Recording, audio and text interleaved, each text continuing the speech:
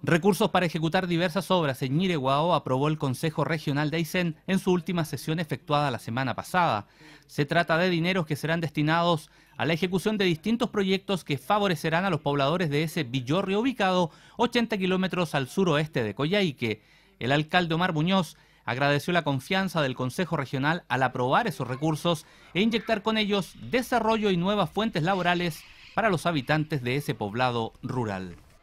el Consejo Regional de Aysén nos aprobó más de 800 millones de pesos para la construcción de la planta de tratamiento de agua servida, del alcantarillado y más 52 casetas sanitarias para la villa Ñireguao.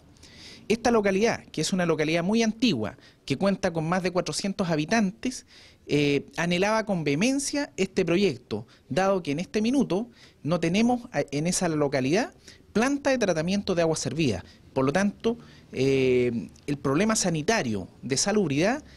todos los veranos es enorme, dado que se colmatan las fosas sépticas, escurriendo agua servida hacia las calles, con los correspondientes malestares en olores y problemas, eh, riesgos para la salud de, de, las personas. Nosotros estamos como municipio trabajando en un plan eh, para de saneamiento sanitario de todas las localidades rurales. Y en este caso ya hemos inaugurado Valle Simpson, eh, pronto vamos a inaugurar Villa Ortega, ahora continuamos con la construcción de eh, y luego vamos a continuar con El Blanco.